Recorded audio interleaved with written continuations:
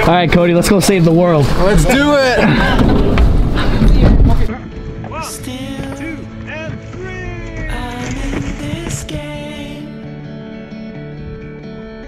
Down in history that I kissed the moose. and It's documented. Okay, I'm scared. He's gonna like bite me or something. See? So I just go up and do it. Oh! I got it though, but I'll do it. I'll do it again. One more. Cool.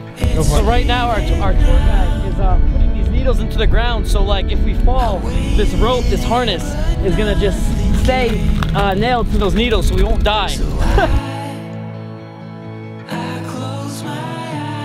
So what we're doing today is obviously we're gonna go up the windy road, but we're heading up to some other places that could be similar to this. And the goal is to ultimately hit this Viking village at the end. So uh, that, but that's for tomorrow. But we'll see what happens. This might be all one big amazing video. It's time to full send all the way to the top. All the way up. Don't crash, man. Nah, man, I'm a pro.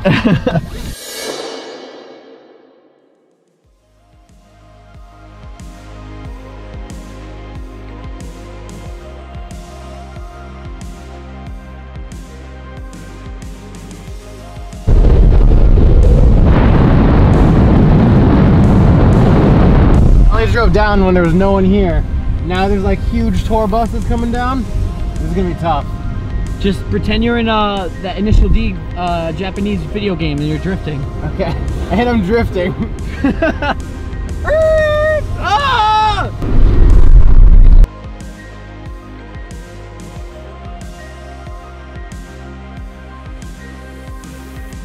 All right, we're getting out the car, of course.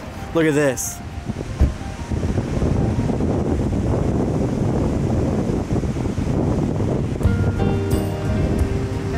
Everyone looks like ants. It's intense, right? Yeah, this Look, is awesome. This is like the road to Mordor. Look, you're walking up these paths. They're about Oh. to drop the ring into the waterfall. I didn't even know you could hike right here. Because I have yet to see Iceland and other places, I haven't got to see like a black rock, uh, black rock mountain with waterfalls.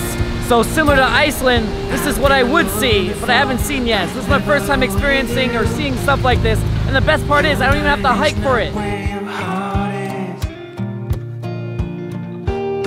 I mean, yeah, technically, it's an overhanging glass deck. Yeah, it looked like it. Yeah, we're gonna check that out. But we have this crazy idea. Up there, which ain't that far, has a bunch of snow and clouds. And we haven't, uh, well, actually, Cody got this crazy, like, wolf-looking jacket. and we want to put it on and look like a Viking up there for the pictures. It's it's it's insane, but we might do it. Check this coat out. It's just crazy enough to that work. it could work. yeah. Check it out right here. Cody, try it on, man.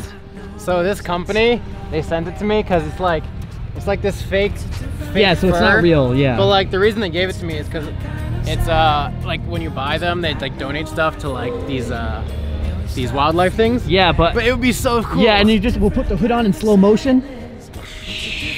boom. Yeah, see? You guys will be visualizing exactly what we're visualizing, but that's if we can make it up there to do the shot.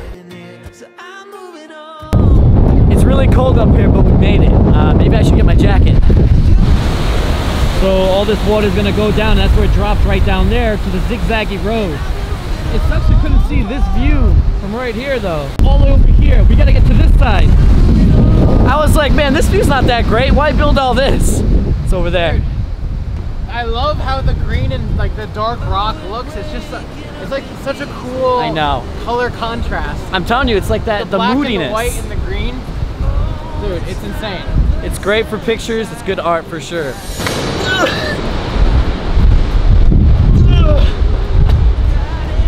Cut it out. Cut the tape. Really push that rock. I would literally get get out of here with a one-way ticket quick.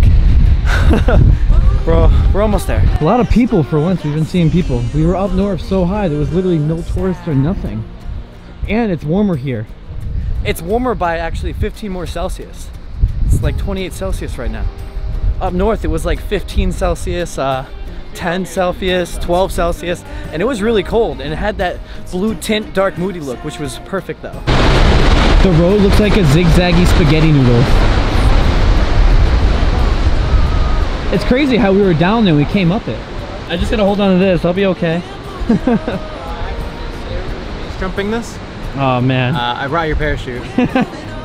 So Cody decided before we risk our lives to hike all the way to the top for this picture, We're gonna fly the drone to see if there's a possible chance. We gotta do a little recon first to make sure we don't die. Yeah, I gotta check the perimeter. We're really in the Lord of the Rings now. we really are. I currently have the ring attached to the drone so I can fly over the lava and just drop it in.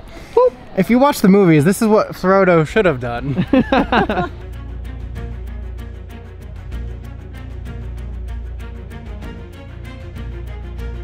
Making sure we find some sort of like clear path, but I don't think we're gonna find it. We'll let you know in the next clip.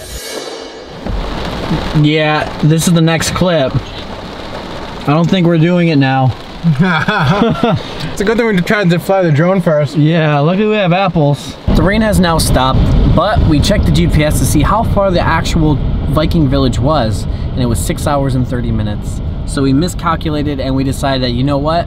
Let's just go all the way down there. So we're just gonna drive another 10 hour day in the end. It was 10 hours actually two days ago, then five hours, and now another 10 hours. And this is the reality of the traveling experience, right?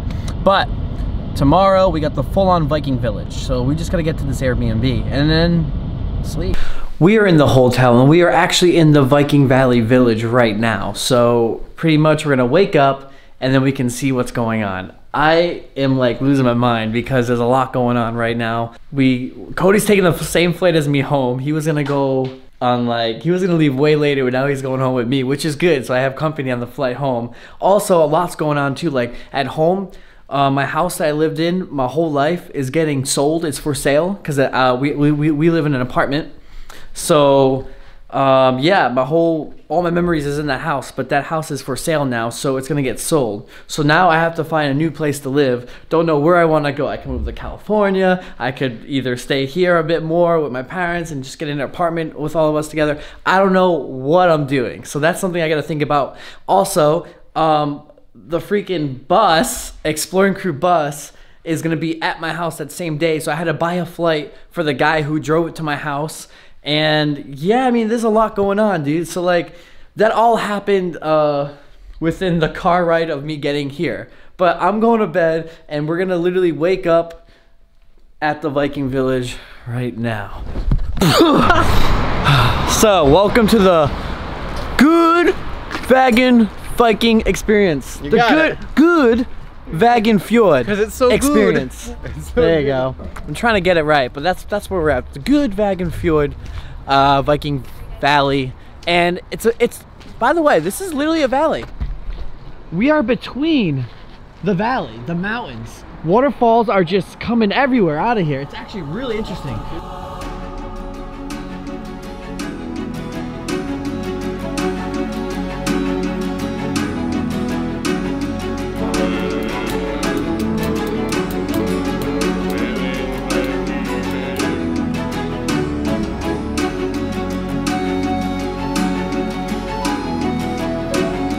Cody, Cody, Cody, Valley. Cody. Cody, Experience. we can buy an axe.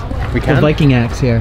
Yo, I'm gonna I'm gonna do some raids later today. Yeah, we're getting some raids done. Now, Cody said that this is pretty much what you get when you turn 13, when you become an official Viking. Yeah, but like not anyone just who turns 13, but like if you're actually gonna be like a Yeah. Viking, it's uh it's to basically show that you are um, devoting yourself to the uh, not the king, but like the chief of the town. Yeah, but guess what? We are devoting ourselves to be Vikings, so we're gonna buy one. Yeah, it's a Viking arm ring. So Exactly. This is my first piece. the better understanding of what these arm rings for and why some of them are silver, some of them are bronze, and what did you say the reason was?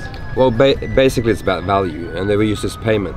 So they were payment rings. Okay. Often, what the chieftain would do, he would give them to his uh, warriors and men as a way to show um, his appreciation of their allegiance. Right. And for them, it was a point to wear them too, because the more they were appreciated, the more they showed their prowess in war.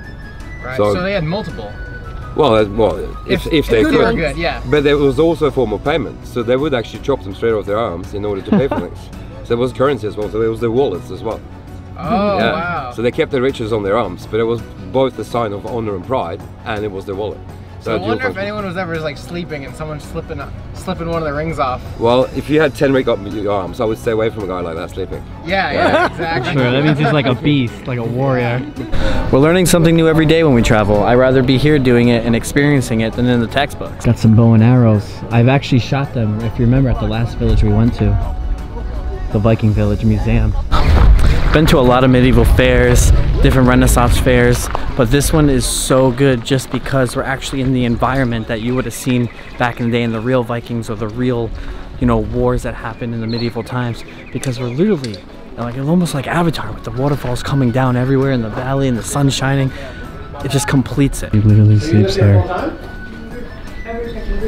Every second week. This is amazing. Do you blacksmith? Yeah, You do. but I'm roofing today. What was that? I'm roofing Oh, you're roofing. because um, we have a leak.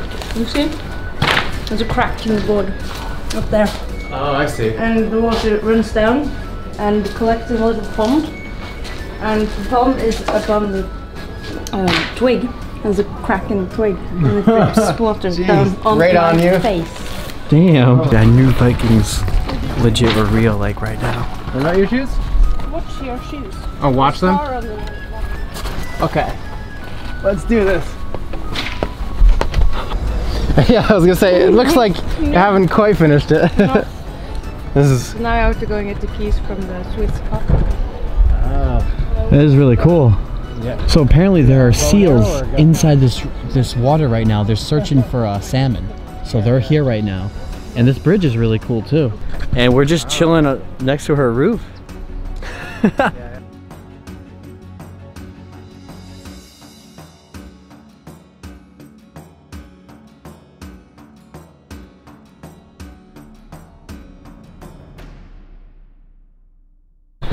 So this guy carves bones.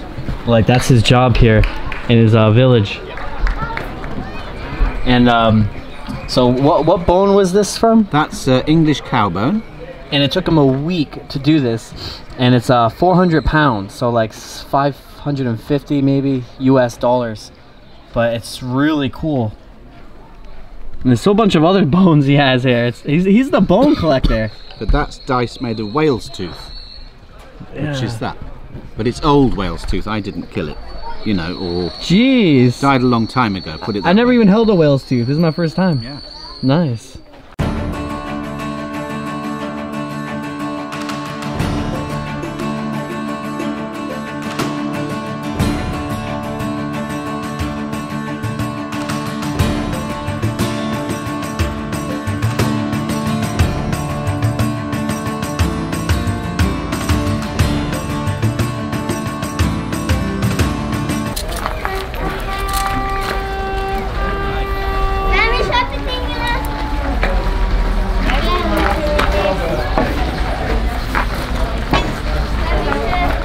Am I a Viking now or what? I like how, I like how you have like the Japanese symbol on you. like you're uh, you're a very confused Viking. I'm the Japanese Viking. You don't know where you're supposed to be. Right out of Skyrim. Skyrim Part 2. symbols um, and also from the late Viking Age. This is a compass. It's called a Norse compass, or Veivisir is the um, Norse name for it. It is a symbol they would use when they would travel to get them safely home. Oh, okay. And this is the older rune rows around it. They all have different sacred meanings. Like um, Fe is uh, cattle, and still the common name for cattle, but cattle is wealth um, in the Viking Age. If you had cows or if you had livestock, that was wealth. Um, and it's also a reminder to take care of your wealth and the property you had. Pretty much where the video ends, explorers. We're sitting eating some traditional Viking food.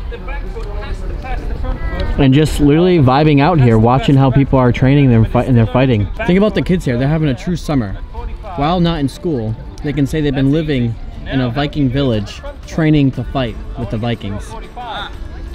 That's really cool. So, I'm ending it here because we are heading to Oslo, and it's going to take about four and a half hours to get there.